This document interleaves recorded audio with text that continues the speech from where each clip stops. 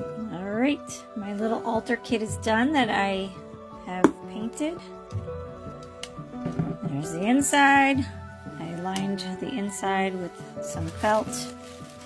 I'm gonna wrap this candle up in that tissue paper, but this candle I created the other day. It's for protection and blessings. So that's good to go. I made a spell jar. It is for uh, protection in the home. That is going to go in there. And this will be all packaged nicely so it doesn't get tossed around. That is going in there. Thought it was appropriate considering the theme. I've got two feathers I'm putting in there.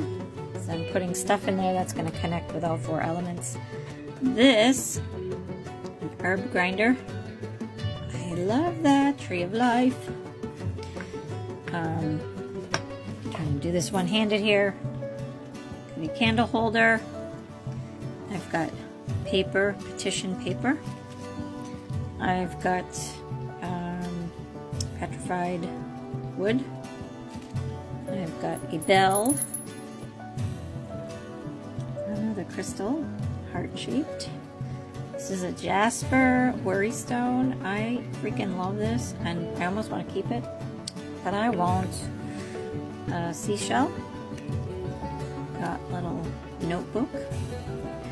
I'm gonna have to re put this in there. Um, my friend down the street, Prayers of Nature, makes these. There is uh, blue cornflower in there. That is an altar tray. That's going in there. I've got some incense I'm going to put in there. I have an altar card that my son drew, Jared, my artiste son. And bam, the new sticker. And I've got this cute little seal if you want to put it on one of your jars or on your book or wherever you want to put it. I just thought it was cute. I made that this morning. I got, oops, this little guy I'm going to put in there. And I'm going to put some other incense in there that I have. Um, hopefully they'll fit. But that is going to be a Bizarre Bazaar event.